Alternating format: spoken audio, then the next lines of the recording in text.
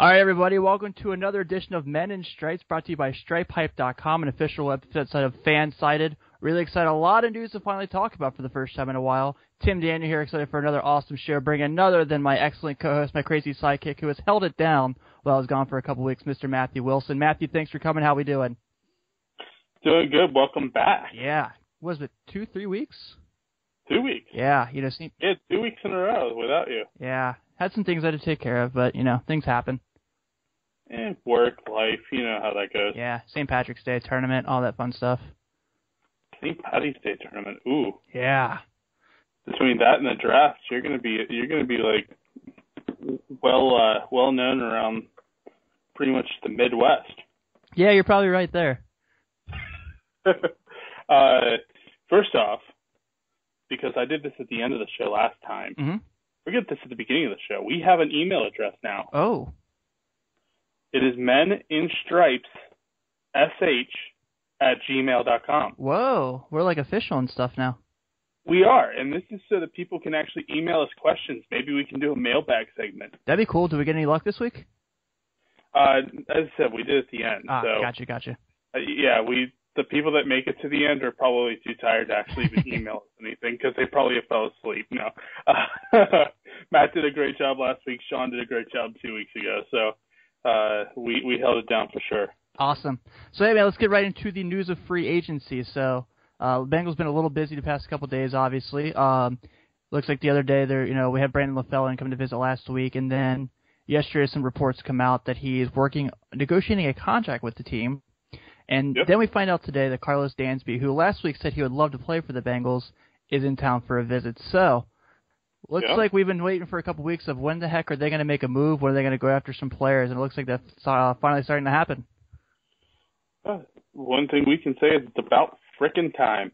Um, for sure. I mean, the Bengals needed to make some moves, and uh, especially, you know, linebacker was one that we kind of have been questioning, and we know that uh, now um, all the reports that Taylor uh, Mays was supposed to be coming back and supposed to have agreed to an, a deal, and then three days after that announcement, uh, Geoff Hobson brings out in one of his articles that contract talks are positive, but there was nothing officially signed. So uh, we have learned that that isn't as close to a deal as we thought. Mm-hmm. So uh, definitely some outsiders coming in, maybe putting a little pressure on Taylor Mays to get something done, especially Dansby. Well, let's be honest here. In this circumstance, would you rather have Dansby or Taylor Mays? Oh, absolutely, Taylor. Or I'd, I'd I was rather gonna have say, Dansby. whoa, whoa, whoa. Wait, wait, wait, wait, wait. Yeah, uh, absolutely would rather have Dansby. But at the same time, I mean, you're also talking about Taylor Mays knows the system already. hmm So in some ways, he would have less of a learning curve than Dansby, Dansby would have. But Taylor Mays is four games suspended. Right. So the big thing there then would be four games suspended. Dansby's not. Dansby can help this team when they need it, and that's in the first three weeks. Mm, yeah. Um. Oh, I mean, it goes further than that, but yeah. you know, it, it, the big factor in terms of looking at some of these higher outside guys would be Vontaze Burfict's suspension for the first three games. There's that. There's um. How healthy will Vinny Rey be? How healthy will Rey Maualuga be? Yes, Um. There's which they just stayed pretty well last last year, so we might be on uh, borrowed time. there's what the hell's the game plan with PJ Dawson? Something that they probably should have already addressed by now, but Yeah. And then is Marquis Flowers gonna come back healthy? That's another thing you gotta wonder about there. can Vontaze Burfict uh, avoid concussion? Will AJ Hawk be a Bengal next year? Well, yeah, that too. Yeah. But but uh, you you know my feeling on that one. Yes, I And do. that's a that's a yes, and we know your feeling on that one, and that's really Yeah, I'm not 100% sure on that, honestly. That's what kind of makes it a little part interesting there. Um, there's something, you know, Dansby brings a lot to the table. Um, Mhm. I don't blame him. You know, his point was, you know, I want to play for a Super Bowl contender, and this team is certainly that. Uh, even with the losses, with a couple of guys that went out here and there, I think he's a guy that can really step in there and really fill in a solid role for this team as an outside, as a veteran linebacker. Absolutely. No, uh, Dansby is somebody who knows the AFC North well, obviously, being Mhm. that he is from the uh, team up north, and I am not referring to Michigan this time. Boo. Um, so uh, you, you know that that means that the uh, other team up north would be the uh, uh, Dawg Pound, and uh, our, our guys over at Dawg Pound Daily do a great job of covering them. But at the same time, as we kind of picked on Cleveland last uh, last week, Siri is even trolling the Cleveland Browns. So that should tell you a new low. yeah, that's absolutely there. Um, let's flip on the other side of the field. So Jones is Yep. gone, Sanu's gone. Uh, first name that comes up there is Brandon LaFell. Um, a lot of people have the argument, you know, should they go after Brandon LaFell? Should they go after Jeremy Curley? Um, you know, we've had the discussion off there about what Brandon LaFell really brings to the table. Personally, if they're able to get this deal done, if Brandon LaFell lines up for this team next year, I still say you go get a wide receiver in the first round. Um, but if you can, if you have a cookie you know, put Coleman, Fuller, Thomas, any of those guys in there, LaFell and AJ Green, along with Tyler Eifert, that's a really solid stack there. I think he brings a lot to this team as far as that speed goes. I know he battled some injuries last year with New England, but you know, in the New England Super Bowl run, he was a huge part of that offense there. Uh, he was a huge part of Carolina's couple years he was there also. So you got to think that Brandon LaFell is a guy that could really come into this team and contribute as long as he's on the field. Yeah, I mean the one thing he's got to fix is the drops, but I'm more shocked about the fact you said Coleman before Fuller. Well, I know, I know. I didn't even mention Josh Doctson. You didn't mention him, or, and you didn't mention uh, even uh, Treadwell. Yeah, I think he'll be gone by the time the Bengals pick. Well, I do too, but at the same time, you would be we would be a fool to even sit there and say that he's not at least at this point a possibility Right. until he's taken that draft board. Yeah, I think that's fair. So, um, but then again, that's the editorial side of me sitting there going, well, what, are the, what does everybody else need and what are they looking at? Because it could fall perfectly that maybe, say, the unknown happens and, and AJ Hawk falls a little bit further, and all of a sudden, um, I think Gi- maybe the Giants were one of them, kind of looking towards another receiver to help out. Mhm. Um, I, I'm trying to think of everybody they had kind of in front of them. Houston. Um, but yeah, I mean, but say AJ Hawk falls, and all of a sudden um, the Giants pick up AJ Hawk, and then somebody falls because AJ Hawk fell, and that means that Houston goes, oh, you know what, we need one of those. He's a little bit better player. He meets our need, and he can play immediately. So I mean, there's always these scenarios that play in, and we don't know. Maybe the Bengals do the unknown and trade up to go get him. I doubt it's going to happen, but it's still a possibility.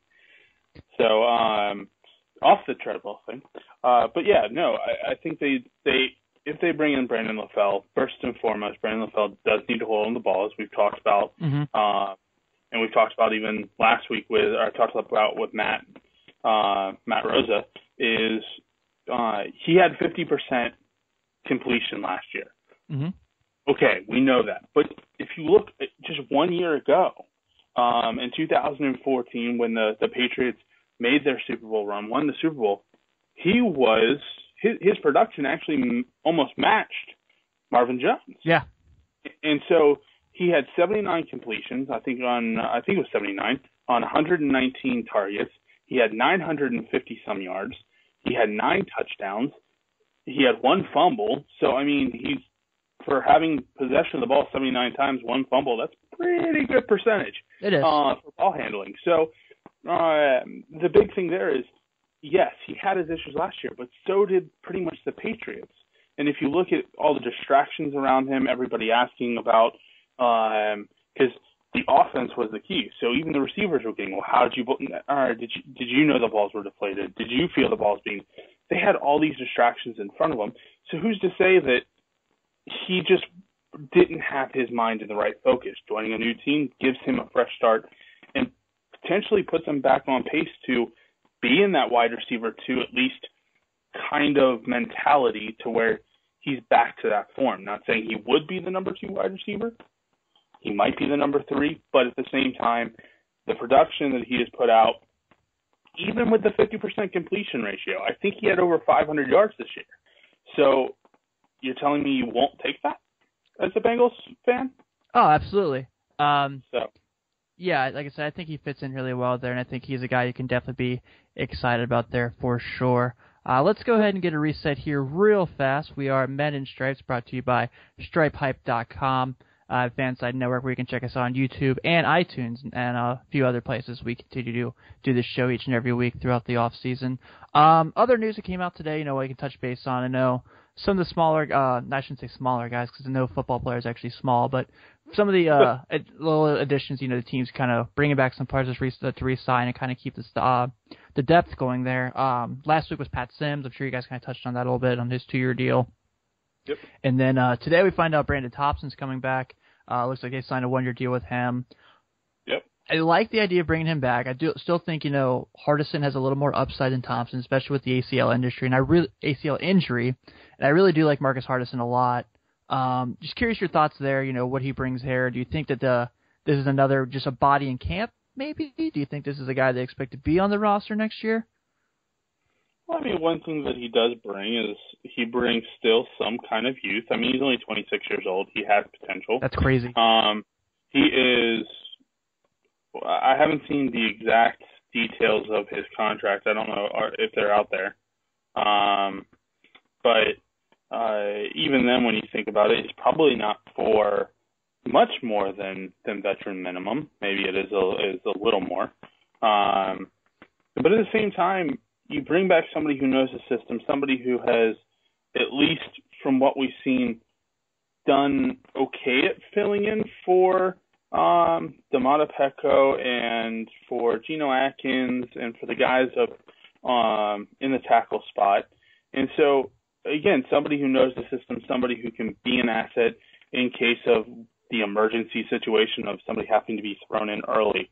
Um, I do think he makes the roster. Uh, he might be a, another one of those bubble players that we kind of have to keep a close eye on. But again, I think his uh, his knowledge of this team and this play, uh, this playbook, uh, bode well for him. They do, and I think we've seen before with this Marvin Lewis system. He likes to bring guys in or keep guys that know the system, um, yeah. i.e., Michael Johnson. But that was just a perfect situation to bring him back last year. Uh, yeah, so I think the Thompson really plays that part there. I still feel, you know, I kind of mentioned a few seconds ago. If it comes down to Brandon Thompson, again, you know, injury with the injury, the ACL, which I understand, you know, is great. The Bengals took great care of him when he got hurt last year. Probably could have been a nice extra body to have in that Pittsburgh game in the playoffs. But I still feel like there's a little more Marcus Hardison that they should be on this team than Brandon Thompson's circumstance.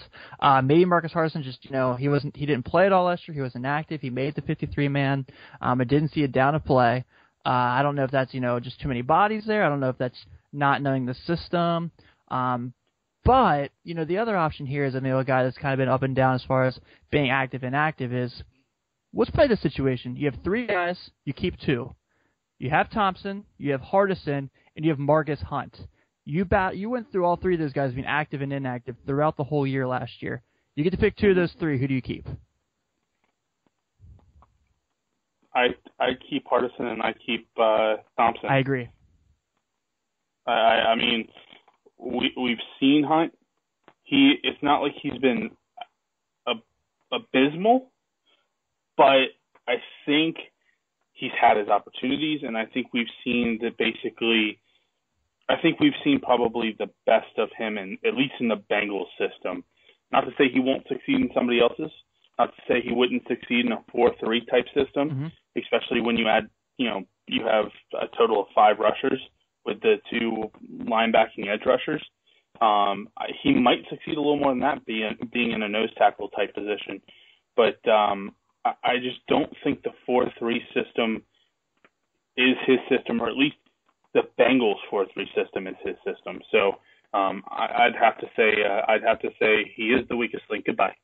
Um, yeah, I agree. I think he's athletic as hell, I think he's certainly yeah. shown that. Obviously, um, but really, other than being there to block field goals, I don't really know what he brings. Um, you know, he's athletic. He, you know, he's very fast. He looks good off the line, but it's very rare he gets off the line, and that's the part that really concerns me there. Uh, on that same point, you know, the fact that Margus Hunt's on this team, and that you know for some reason Guenther and Lewis love the guy. Do you think that might play a part in why Wallace Gilberry is not back with the Bengals yet? I think it plays a part. And not to mention, I mean, the big thing you see with Wallace Gilberry, though, I mean, what he's a, he is a um I mean he's a defensive end obviously. They have Michael Johnson in place. They have um they have their guys there, Carlos Dunlap. Mm-hmm. Um I mean Will Clark. Yeah, I mean the big thing there is I think they look at Wallace Gilberry and they say, okay, how much does he want? And I think from Wallace Gilberry's side, I think Wallace Gilberry feels that he is a starting defensive end. I think that's fair. And, in, and I think in Cincinnati, he knows he's not a starting defensive end. And so um, Margus Hunt is good, but I think Will Clark has at least earned his look. I agree. I think Will Clark is a very, I mean, he's very athletic, very, very football IQ uh, strong there. I think you know he could really play a part with more reps, obviously too. Um, but yeah. These aren't exactly bad problems to have to be contemplating which young, inexperienced defensive players do you want to have on your D line as you continue to grow with this team. No, absolutely, and I mean, it's kind of the it's kind of the conundrum of you know who's who's the worst of the best, or who's the worst of at least the up and coming. So mm-hmm. you can't really be down on that. no, no, not by any stretch. So, but um, kind of moving into a little bit more of, uh, you know, and, and we kind of, I think we, I mean, we've barely touched on it, and, and that's the fact that um, I, I haven't gotten your opinion on it yet. Obviously, I, uh, people kind of know mine with the articles and everything coming out, but the whole Taylor Mays thing, mm-hmm. being signed, not being signed, um, obviously Rand Getlin from uh, NFL Network jumping the gun, um, making me jump the gun, making everybody jump the gun. um, I mean, I, I kept watching, waiting for the, you know, the official signing and the picture of him in the boardroom signing and uh, you know, so that way I could get off of uh, Jason Marcum's case over at uh, Cincy Jungle, because uh, I have been on his case. I've I've even been on uh, uh, I've been on Connor's case too about it, because um, I think that I was sitting there going, we're going off of a hunch and we're saying he signed and confirming the signature. We've got nothing from either side. Right. Uh, but the, then the question is, number one, kind of going back to that, is that somebody that that they should? No. Okay, and that's my feeling too. But at the same time, you know, do you think that he brings an asset to this team, or do you think it's just kind of one of those? We've waited so long for him to actually do something. He kind of did something in Oakland, but then he kind of screwed it up with this whole substance thing. He's my oh man, this is gonna sound very very Notre Dame of me when I dog Taylor Mays, isn't it? Uh, you you sound Notre Dame every week when you bring up Will Fuller, so keep just go. the thing with Taylor Mays is just like, you know, he he can hit you really hard, but he's not always hitting the right guy. Uh, he's never in the right place when he's playing on the defensive side. He's a really good special teams player. Um, mm-hmm. I really appreciate that about him there, but I can't tell you how many times I've seen Taylor Mays in coverage and I go, oh god, oh man, and he's just you know he gets burned a lot for a guy that you know when he was coming out of SC, he was he was the best safety in college football.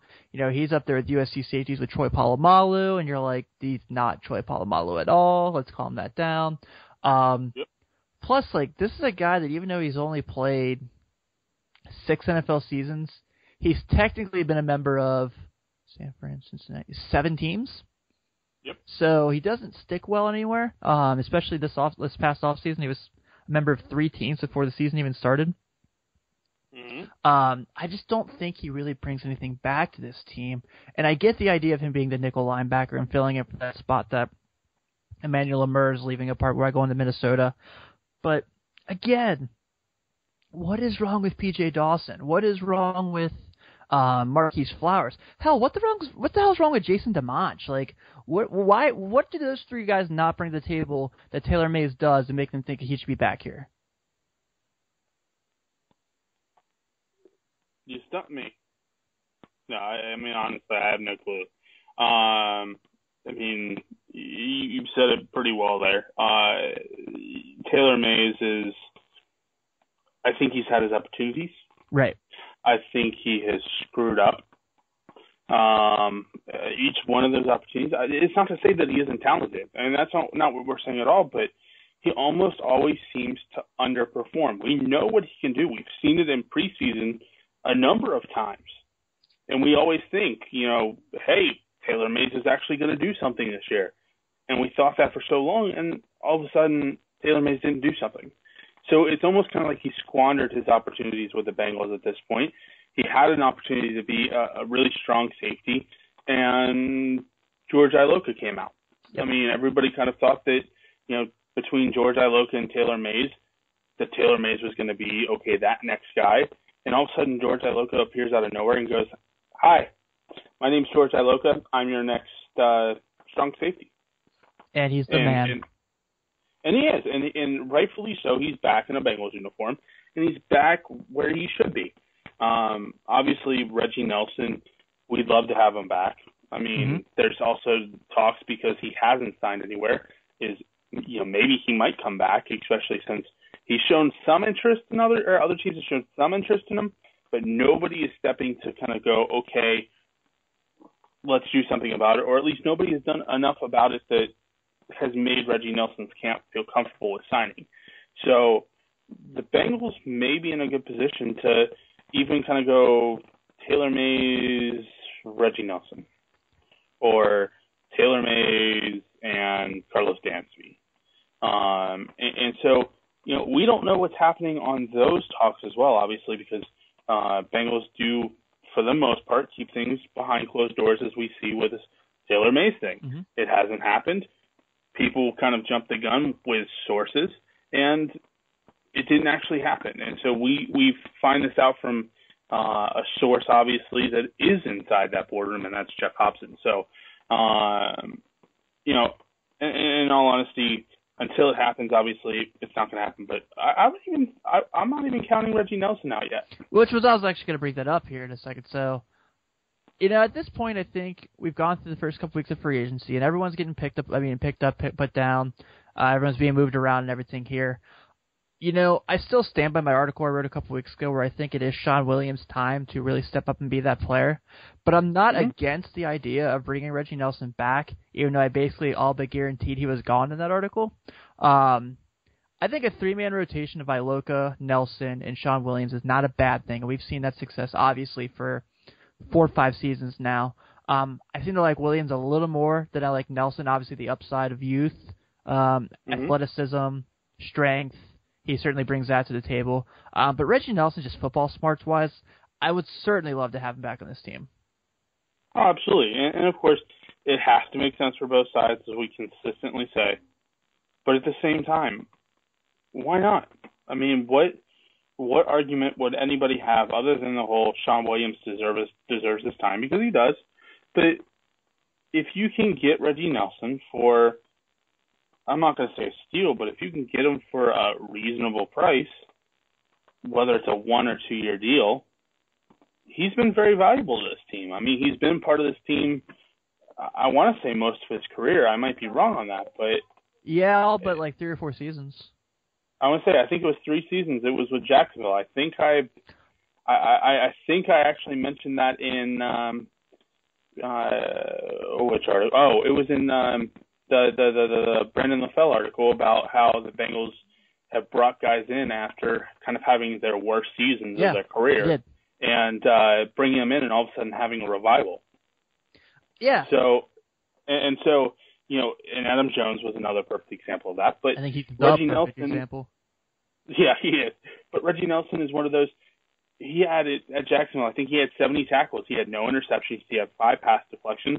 He had no forced fumbles, and he was basically at other than tackles, which no offense, five when you have five uh, pass deflections, but you have 70 tackles. Obviously, the guy who you become responsible for is catching balls. Um, and so we saw that, and, and he had one of his worst seasons in Jacksonville. The Bengals took a chance on him, and he's been incredible. He has. Um, so yeah, I think that that certainly makes things interesting there. I uh, for that's the case as well. Uh, let's go ahead and reset here a little bit. This is Men in Stripes brought to you by StripeHype.com, a fan-sided site there for you. Um, you know, let's kind of touch a bit on the website this week. We've seen a lot of Uh, really cool articles out there. Dylan wrote an awesome one. Uh, Dylan, our co-editor, who is a Green Bay Packer fan, actually compares the Bengals and Steelers rivalry, saying it's better than the Green Bay Packers Chicago Bear article. So that's a really good article there. Um, yep. You've been on top yourself of everything going on in free agency and news covered there, so you've done a really good job there. I wrote probably my most depressing article I've ever written in my life, trying to compare the two postseason losses to the Steelers and which one hurts more. Still haven't decided that one yet. Uh, I, I I definitely have, and that's 06 because I mean the 16 was a freak freak thing. Um, but 06 was one of those that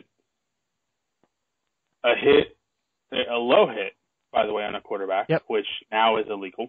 Um, even rolling is illegal. Um, but uh, a low hit took out pretty much one of the better quarterbacks in the, that year in the league, uh, in, in Carson Palmer, and then we threw in a, a second string quarterback who did okay, especially for the first couple of drives, then just fell. And I mean, yeah. he fell off. And, and you know, at least with and with AJ McCarron, it was interesting because you know you think that go, well, what's the difference? AJ McCarron was in for Andy Dalton, but AJ McC- excuse me, AJ McCarron also had four games under his belt mm-hmm. and had done fantastic in three of those. Yeah. And so, um, you know, really with that even, and you can even say five games if you want to go back to the his first game when he came in for Andy Dalton because that was after I think the first series essentially. Yeah, I was. Uh, but but he did a fantastic job, and we see if he stays with the Bengals, what even the future could be. Obviously, he's going to have his opportunities elsewhere, the, right. and and we've heard that with, um, you know, the Bengals don't want to move him, and then all of a sudden, hold on, Mike Brown does his normal thing. Wait, you know, my guy said that that AJ McCarron's on sale, but you know what? Every player is available for the right price. And, and no offense, and, you know, as much as you know, we love this Bengals organization, and I think we can speak both on that. Yep. But um, I'm almost tired of Mike Brown consistently coming out and contradicting everything that the organization says. I am too. And it's almost a joke because it seems like he's out of tune with his own organization. What annoys me is like all the stories you hear about like the draft day disagreements. Um, mm-hmm. you know, we still hear about the Andy Dalton one when he wanted Mallett or he wanted Kaepernick and oh thank God those didn't happen. Yeah. Well, Mallett for sure. Kaepernick would at least given you two good years. Yeah. So let's kind of uh, let's move around here a little bit. Let's touch on the rest of the uh, the league and some free agent moves that have happened here.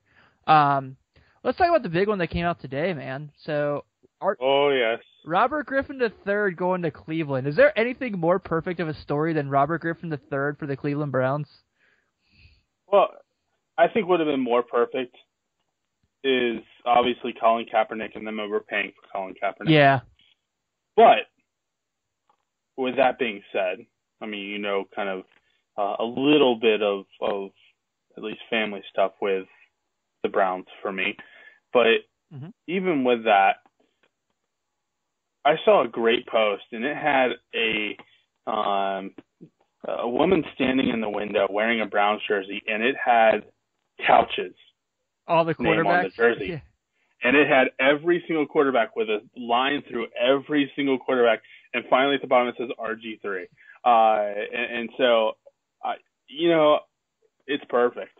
I mean, it's kind of this revolving door of of uh, of people and quarterbacks there. But you know, Robert Griffin III, and, and I've said this to anybody who has talked to me about football and, and talked to me about quarterbacks and, and who I think is overrated at this point, and he just has never become comfortable again no. throwing on that front foot, and that's his issue. If he was a good quarterback until the ACL tear, and actually it may have been ACL and MCL. Um, but until that tear, he was a good quarterback. He ran well. He he was a great he was great when he escaped the pocket. Um, had some uh, good decisions. I mean, Washington did very well with him before that injury, and he's just never been able to regain that confidence off that front foot. And maybe maybe Cleveland brings in the quarterback whisperer, Tom House, especially since Hue Jackson's there. Mm-hmm. But is he even going to be able to instill confidence in Robert Griffin III to throw off that front foot? Because nobody so far has been able to. I just find it funny that the two big guys from that year, from the Griffin's year, uh, as far as his rookie year, when they went, when Washington went to the playoffs and they had that run to get to the playoffs, are now gone in the span of two days, being Griffin and Alfred Morris. hmm Yeah. Uh, so Alfred going to Dallas, obviously. Uh, we mentioned the, the past time we talked at DeMarco Murray not being there anymore, um, not going to Dallas. So Alfred Morris. And I call that. So Alfred Morris going in that spot, I don't mind that honestly. Um, I like Alfred Morris a lot as a player, and I hope that now you know he'll get a little bit of better time. I like him and Darren McFadden as a duo. Um, so I think that's a pretty good spot for him, especially on just a two-year deal. So I think he could definitely do some cool things there. Well, that just means that Zeke falls a little further down the uh, draft board. He's gonna be an Eagle, man. At this point, because they're talking about they've already got rid of Murray.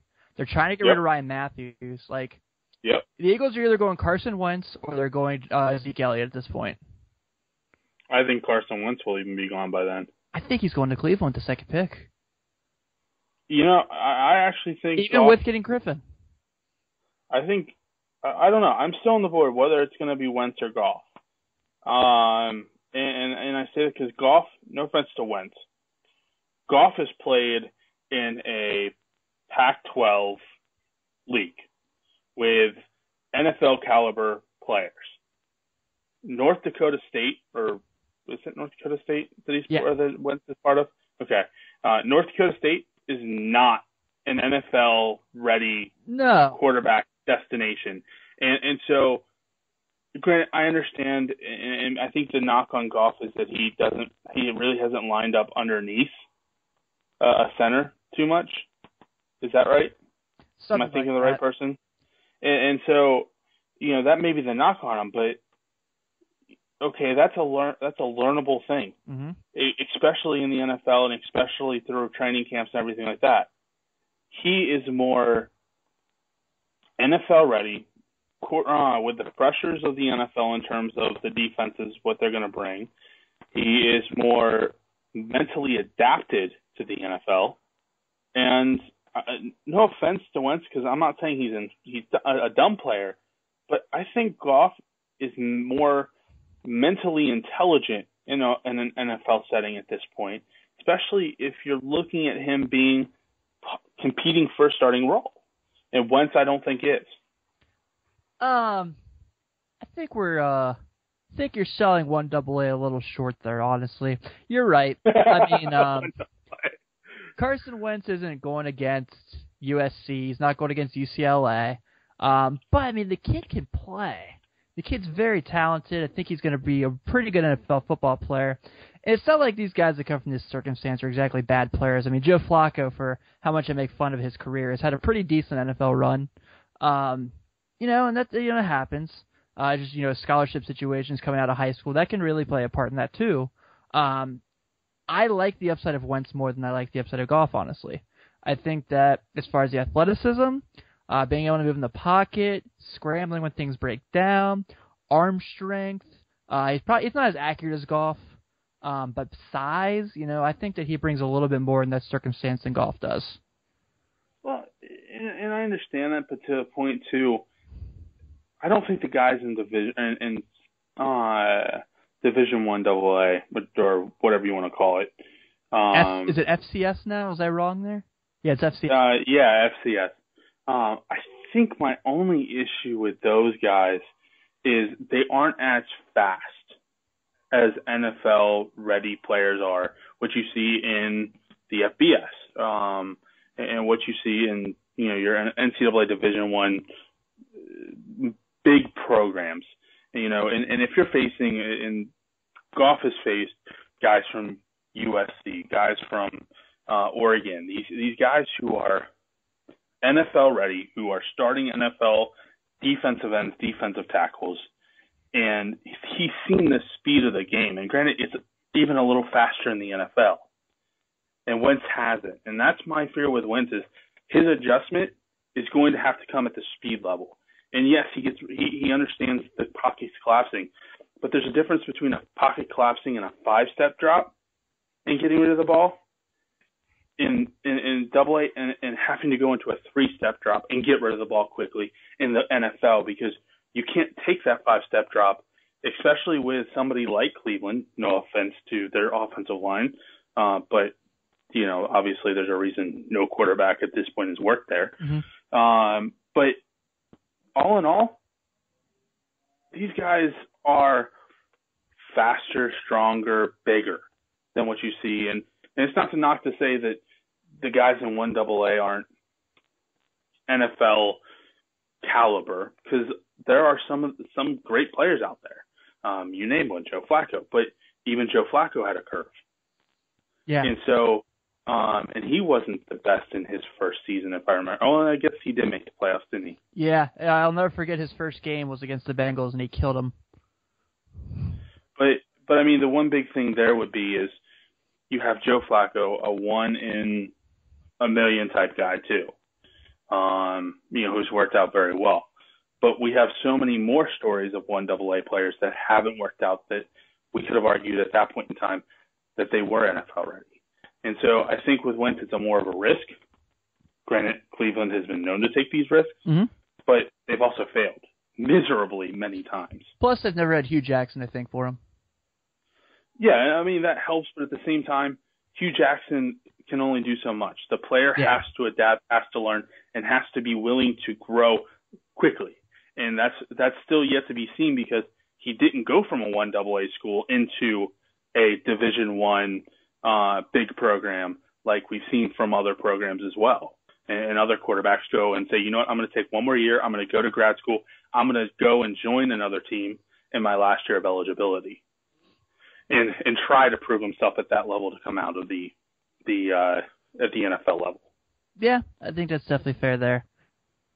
Um, sorry, Matthew, we got about a few more minutes so we can go. Um, Yep, we, we ready to do this? let's do it. All right, let's do a little different this week, picking up, putting down. Let's name players and free agent that are currently free agents, and let's say if we think they're a good fit by picking them up or putting them down. You ready? Let's go. All right, let's start with the guys I've started. I've written articles about recent futures. Let's start with Nick Fairley. Ooh, uh, Nick Fairley. Go ahead. I'll have to think about that one. I pick up, um, but not as a star, big time defensive big game changer for this team.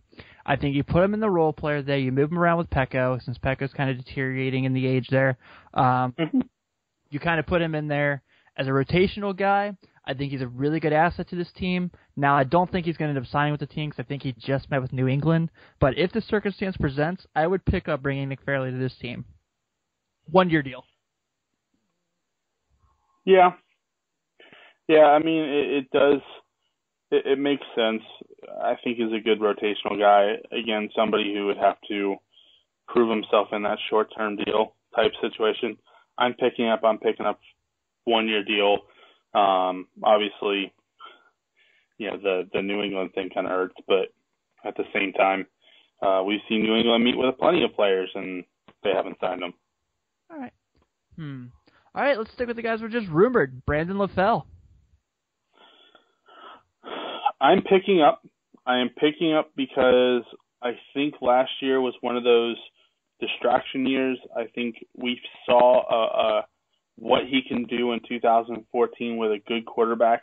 Andy Dalton is a good quarterback, and if he can get some space, if he can get some breakaway, uh, or if he can break away from a, a corner, or find a way to undercut a corner and, and you know at least find a, a quick uh, slant type style. I think he could be successful, and and I think he gets past those drops. I think so too. I think in the right situation, having a good quarterback like Dalton, you said, is going to play a big Mhm. part there. So I think that that's a. I'll pick up that one also. Uh, hey, I'll keep it going. I'll pick up this one too. I'm going. I'm. I'll, let's stick with Karlos Dansby. I like the guy. Um, I think he would fit better than obviously Taylor Mays. Mm-hmm. Um, but we're finally going to have a disagreement for like the first time in three weeks. I know. Well, I've been gone for a couple weeks, so. Yeah, well, you know, and then last week we seemed to agree on everything. Um, I think the age plays a huge factor. He's 34 years, and no offense, I think we already have one of him here with AJ Hawk. True. Um, and so, again, AJ Hawk, who's been in the system, or Karlos Dansby, who is learning a new system, I, I'm having to sit there and go, I'd rather see AJ Hawk, who knows the plays and, and is sitting there going, okay, year two developed a little bit better. Let's see him go, especially when he has this opportunity now. So I'm putting it down. Okay, that's fair. Uh, I pick him up just strictly because I think that even at 34, he's still shown he can play at a high level. The AFC North is a very strong, tough division. He's stood his own there on a, the worst team he could be on in that division. So, yeah, I think uh, I think he could definitely bring a little bit to the table.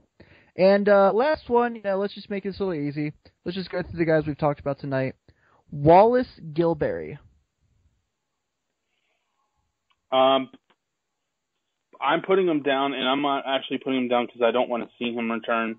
Wallace Gilberry is, I think, again, mindset wants to be a starting defensive end, wants to be in a, system that he has a potential of being a starting defensive end. He doesn't see that here. Um, and, and so I think it's more of a hindrance bringing him back just because I don't think he's happy here. Um, I think he likes the system. I think he would play in the system, but at the same time, again, he wants to be a starter, and I think until he has that that starting role, or at least has a chance at that starting role, you're going to see somebody who's just unhappy in that system, and so I'm putting it down. I'm putting it down too, strictly because I think that they're going to plan for Will Clarke to be that guy that'll play the strong and weak side end. I think mm-hmm. that they're going to kind of play game plan for him to be the guy that rotates with Johnson and Dunlap. And mm-hmm. um, much as I disagree, I still think they believe in Margus Hunt a little too much. So yep. I don't expect to see Wallace Gilberry back with the Bengals, but I would like to see him back with the Bengals. Yeah, same thing here. Yeah, absolutely. There. You have one you want to discuss before we go get off air? Um, I think the big thing, obviously, um, would be uh, one that we even talked about tonight again. Um, and this is, you, and, and from what I understand, we're doing it from both sides. You know, both players have to, player and team have to like each other to, or come back, or at least want to come back. That's Reggie Nelson. I'll pick up. Um, I don't think last year was a fluke. I don't think last year was Reggie Nelson kind of like having a quick resurgence just to fall down again. I think that he fits perfectly into this system. I think Paulie Guenther really trusts uh, trusts him here, and I think a rotation between those three, with Derron Smith still playing a part on this team and really learning how to be a that fourth safety. I think it's a great safety core to have with him, Iloka, Williams, and Smith. So I'll pick up. I'm picking up. I, I think again, you know, with what you said uh, I think it was more than just kind of a, a quick resurgence. I think he still has th- something left in the tank. Um, but at the same time, I think he brings a leadership aspect that we've seen. Um, you know, we've we've seen Iloka even benefit from. I think Shawn Williams, you know, kind of rotating him in, playing a one-year contract, rotating in uh, Shawn Williams to to really kind of learn that role underneath uh, Reggie Nelson and um, I, I honestly think it would be kind of one of those great kind of player coaching type situations that, you know, give him a one year deal, let him let him play out, and you know maybe he retires a Bengal, maybe he decides that he wants to play one more year after that, but you know at least at least bring him back and, and give him a, a shot to to retire a Bengal. Yeah, I certainly agree there. All right, with that being said, we're going to close out this edition of Men in Stripes brought to you by StripeHype.com. Matthew, thanks again. Always a pleasure for another strong week. And remember to email us at meninstripes, at gmail.com, your questions. Absolutely. We might make it a picking up or putting down segment even. Yeah, absolutely. Awesome. Well, thanks again, everyone. Enjoy the week as we get closer and closer to draft day. And which you will be there. And yes, all of us are jealous, and maybe you'll get to meet our lovely new co-editor as he says he wants to go. So that'd be awesome. Never know. And we'll definitely need to bring. Uh, my plan is to bring Matt back as long as uh, uh, he is available. So uh, hopefully Matt will be joining me for draft night, and we can do something special for draft night. That'd be cool. Yeah, for sure. So, but definitely, thank you, Tim, for another great week. Thank you for coming back strong, back. and uh, and uh, we we will uh, definitely look forward to seeing everybody next week. Same bad time, same bad channel. Have a good time, everyone, and Who Dey. Who Dey.